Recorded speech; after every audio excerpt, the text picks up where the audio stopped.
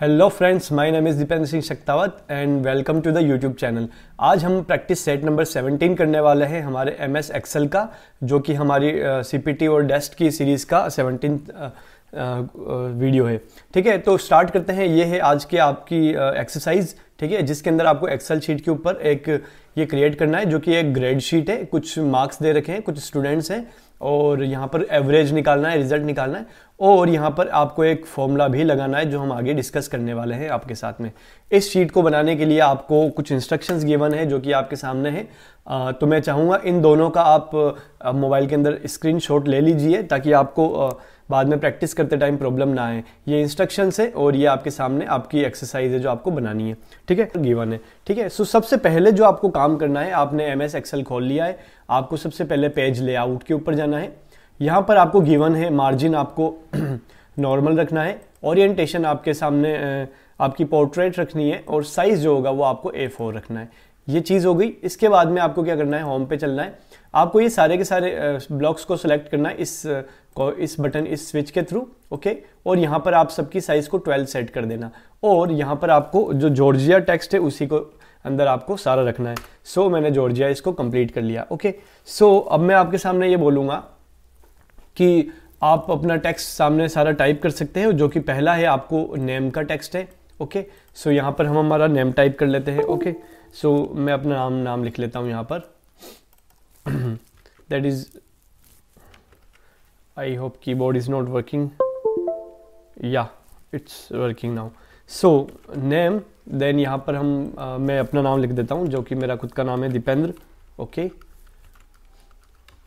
और इस ब्लॉक को भी आप थोड़ा और सब बड़ा कर सकते हो ठीक है? अपनी आ, जितनी आपको ज़रूरत है उसके हिसाब से। फिर नीचे में आपको रोल नंबर टाइप करना है। That is roll number oh let's say my roll number is one two three four five six okay so so, आपका जो ये थर्ड वाला कॉलम है इसको आपको थर्ड वाली रो है इसको खाली रखना है. फोर्थ वाली जो रो होगी वो आपको सिलेक्ट करनी है एफ़ तक. ओके सो आपको एफ़ तक इसे सिलेक्ट करना है और इसका जो आपको मर्ज एंड सेंटर कर देना है ताकि ये एक ही सेल कंप्लीटली बन जाए. ठीक है? यहाँ पर आपको टाइप करना है ग्रेड शीट ओके सो आप कैपिटल में ही सब कुछ रखना है ग्रेड एंड शीट ठीक है? इसको आप सेलेक्ट कर सकते हो और यहाँ पर आपको इसकी जो साइज़ है वो 16 गिवन है और बोल्ड आपको करना है इस चीज़ को और विथ अंडरलाइन करना है सो अंडरलाइन के लिए ये आप कर सकते हो ठीक है? सो अब इसके बाद में आपको क्या करना है कि आपको जो आपका फिफ्थ वाला सेल है यहाँ पर आपको टाइप करना है स्टूडेंट ओके सो स्टूडेंट मैंने टाइप कर लिया फिर नेक्स्ट वाले के अंदर आपको लिखना है आपका कोर्स uh, uh, जो कि आपका फ़र्स्ट है। यहाँ पर आपका कोर्स सेकेंड uh, है। और थर्ड यहाँ पे आपका कोर्स नंबर थर्ड है ओके ये आपके पास में तीन कोर्स है और इसके बाद में यहाँ पर आपको इनका एवरेज निकालना है ओके एवरेज और लास्ट में आपको देना है रिज़ल्ट ओके तो यहाँ पर आपको डालना है अपना रिज़ल्ट सो so, ये कर दिया। अब इसके बाद में आप क्या कर सकते हो? इनको थोड़ी सी आप इनकी लेंथ भी चेंज कर सकते हो अगर आप चाहते हो इनकी लेंथ चेंज करना। थोड़ी थोड़ी सी आप इनकी लेंथ चेंज कर सकते हो ओके ताकि ज़्यादा कंजस्टेड ना हो। थोड़ा सा स्पेस रह जाए।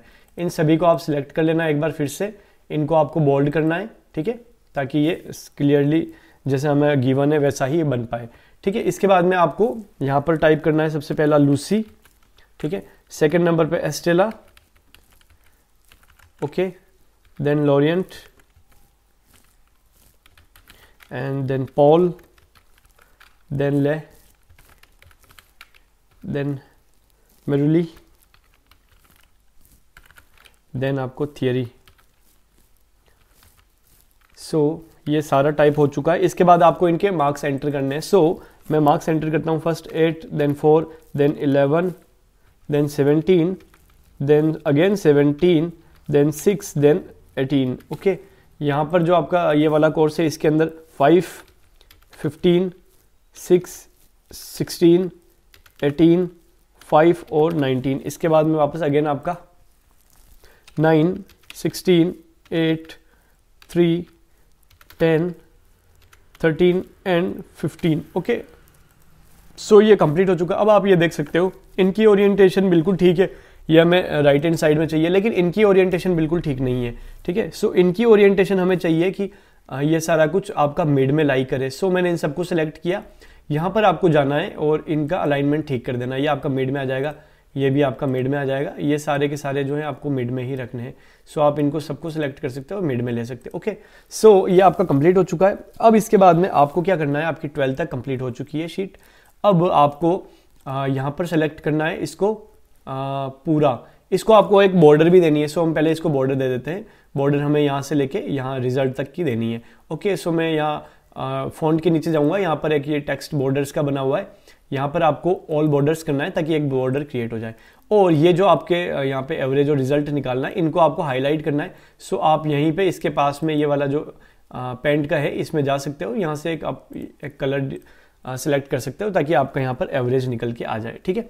सो दोस्तों, ये आपके सामने आपका रेडी हो चुका है। अब आपको निकालना है आपकी जो मैंने आपको बताया था, आपको एक हिंट गिवन थी यहाँ पर।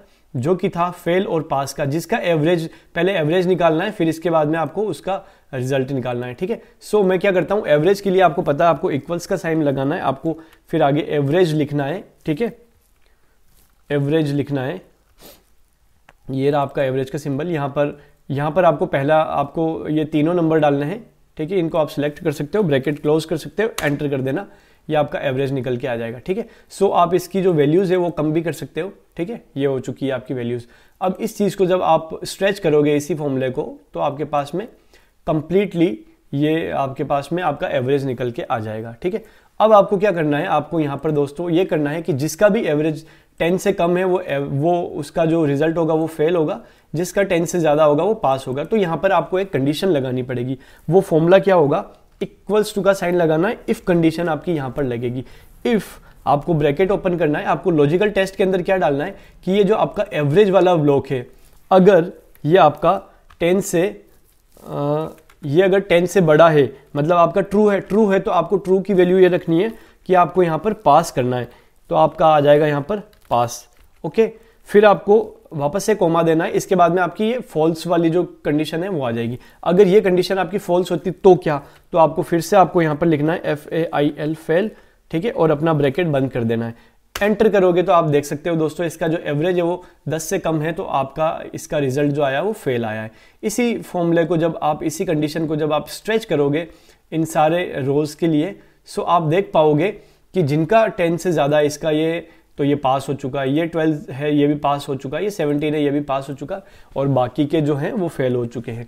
अगर आपको इनका अलाइनमेंट ठीक करना है तो आप अलाइनमेंट इनका मिड में भी लग सकते हो, आप इनका राइट हैंड साइड में भी ले सकते हो, ठीक है? जैसा भी आपको गिवन है, आप मिड में ले लो, वैसा कि कुछ गिवन नहीं है, ठीक है? सो ये आपका कंडीशन भी लग चुका है, ठीक है? और अब आपके पास में क्या करना है, आपको इसका, अब आपको इसको सेव करना है। फ़ाइल के अंदर आपको जाना है, ठीक है दोस्तों? और यहाँ पर आपको सेव एज का ऑप्शन दिखेगा। ठीक है? डेस्कटॉप के ऊपर आपको इसको सेव करना है और आपको किस नाम से सेव करना है? सो आपको S S C underscore और आपका जो रोल नंबर है, मैंने अपना roll number one two three four five six लिखा था। सो आपको अपना रोल नंबर के साथ इसको सेव कर देना है। फिर आप जब इसको कंट्रोल पी करोगे, ठीक है? तो आपका ये प्रिंट के लिए चला जाएगा और ये आपके सामने आप देख सकते हो, आपकी शीट रेडी हो चुकी है। ठीक है? सो ये कंप्लीट है। अब आप एक चीज़ देख सकते हो कि आपका जो प्रिंट के अंदर ये वाले सारे सेल्स नहीं आ रहे थे। अगर आपको ये सारे सेल्स चाहिए हैं, ठीक है? सो आप यहाँ पर पेज लेआउट के जहाँ अंदर जाके एक ग्रिड लाइन्स भी ले सकते हो, ठीक है? और अगर आपको ये ए बी सी डी और यहाँ पर one two three four five ये वाली अगर रोज एंड कॉलम्स की हेडिंग भी चाहिए तो आप यहाँ पर हेडिंग्स पे प्रिंट पे क्लिक कर सकते हो, ठीक है? सो आप अब अगर कंट्रोल पी करोगे तो आप देख सकते हो कि आपके पास में यहाँ पर ऊपर ए बी सी डी भी आ रहा है, इधर आपके पास में ये सारी की सारी रोज भी दिख रही है और आपके कॉलम्स भी दिख रहे हैं विथ आपकी ये ग्रिड लाइन्स भी आपको दिखाई दे रही है। तो ये अगर आपको जैसा भी गिवन है, आप वैसा कर सकते हो। और इसी के साथ में आपकी ये जो एक्सरसाइज है, वो यहीं पे फिनिश होती है। ठीक है दोस्तों आई होप आपको ये वीडियो पसंद आया होगा। Please do like it share it and subscribe this channel thank you very much friends